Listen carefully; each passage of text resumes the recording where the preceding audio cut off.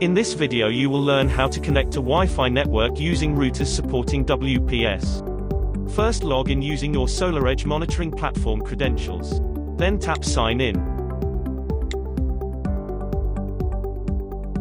Scan the inverter barcode.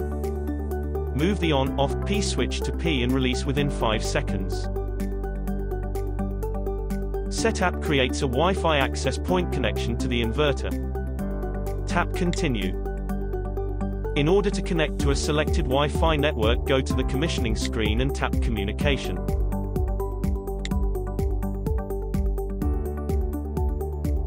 Tap Server and then select Wi-Fi.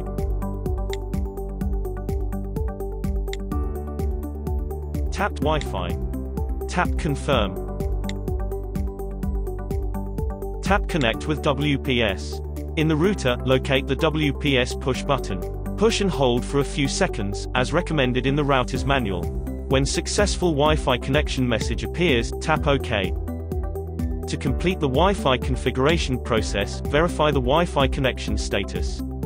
Go back to the commissioning screen, and tap Status. Scroll to Communication and check the Wi-Fi connection status. At the end of the commissioning, tap Disconnect from inverter. Congratulations! The Wi-Fi WPS connection is now complete.